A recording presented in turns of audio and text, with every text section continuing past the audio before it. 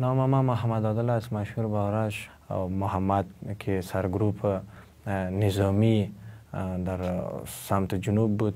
در شهر کابل موضوع سابق از دوران ناصر ملاقات داشتیم با ما یک جا شد و پلان حمله به پنتون کابل گفت و ما هم تایید کردیم با بعد از ما یک, یک ماه پیش از حمله یک پنتون آمدیم از نظارت کردیم.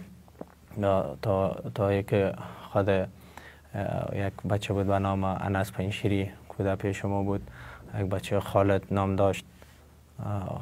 تارق یک بچه تارق نام داشت. تارق خراسانی که پیش محمد می بود و یا یک جا کده با سرکردگی محمد و با همکاری ما از چاره بود سمت چاره بود خاک.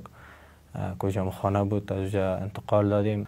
محمد که از تشریحاتی که باید از یاد کجا و چه رقم انفجار بتا و دیگه وسایل امر آمده کده بود. بعد از او با انتقال دادیم که من بودم. ایره تا نزدیک پنتون کابل رساندیم. بعضی ترورا را ما کردیم. و وقتی که خودم سرگروه شدیم بعضی مثل پکتیا مارکت یا لغمان تا هرواره مواد انفجاری به خاطر ترساندنشان مانده بودیم. تا پیسه بتن تو اختطاف کرده بودیم.